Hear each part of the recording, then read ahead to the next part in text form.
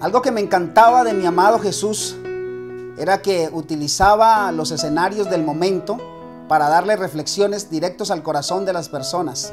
Aplicaciones sencillas, pero al mismo tiempo profundas.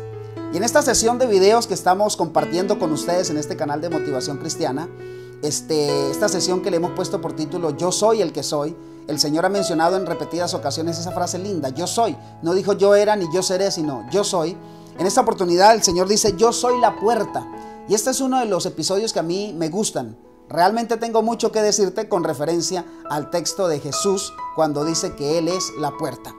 Este episodio se subcita allí en el libro de Juan, capítulo 10. Leeremos algunos versos para ponernos en contexto en lo que está sucediendo. El Señor dice, de cierto, de cierto os digo, que el que no entra por la puerta en el redil de las ovejas, sino que sube por otra parte, ese es el ladrón y salteador. Pero el que entra por la puerta, el pastor de las ovejas es. A este abre el portero y las ovejas oyen su voz. Y a sus ovejas él llama por su nombre, no pierdas detalle, él llama por su nombre y las saca. Y cuando ha sacado fuera a sus propias ovejas, va delante de ellas y las ovejas lo siguen porque conocen su voz.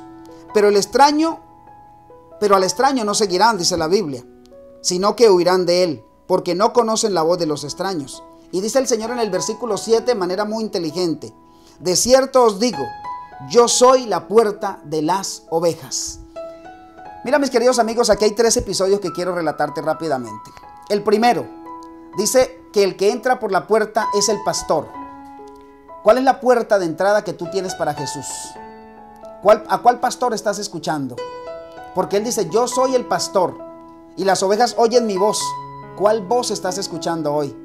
Porque todos tenemos una vocecita que nos habla ahí del enemigo, que nos dice, actúa de esta manera. Pero también tenemos la voz del ángel de Jehová que nos habla y siempre nos está invitando a hacer las cosas buenas. ¿Cuál es la voz que estás escuchando?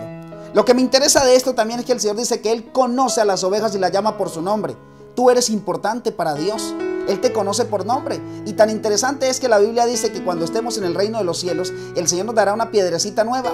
Y ahí en esa piedrecita habrá un nuevo nombre. El Señor ya conoce ese nombre para ti. Pero termina el texto diciendo, yo te digo que yo soy la puerta. Nosotros tenemos que entrar por Jesucristo de Nazaret. Tenemos que seguirlo a Él. No ideas humanas. No es lo que diga tu profesor.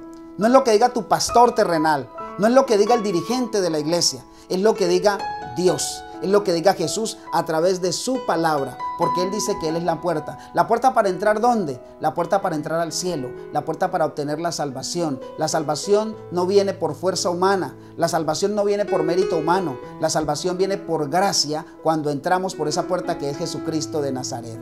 Bendecido día para ti. Recuerda que la vida siempre valdrá la pena vivirse cuando la vivimos con Dios.